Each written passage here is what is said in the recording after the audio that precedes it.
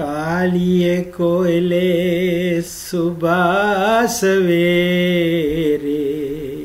कालिए कोयले सुबह सवेरे ना बोल दी बोली, ना वस तेरे, ना वस मेरे। ਜੋ ਲਿਖਿਆ ਪੈਣਾ ਛੋਲੀ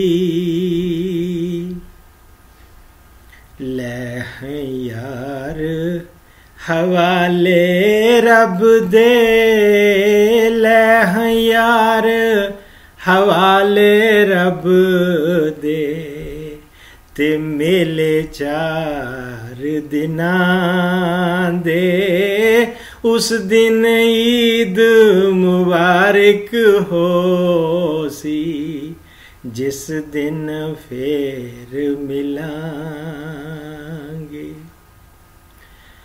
ਲੈ ਯਾਰ, ਹਵਾਲੇ ਰੱਬ ਦੇ, ਲੈ ਯਾਰ, ਹਵਾਲੇ ਰੱਬ ਦੇ ते लम्मी पई जुदाई।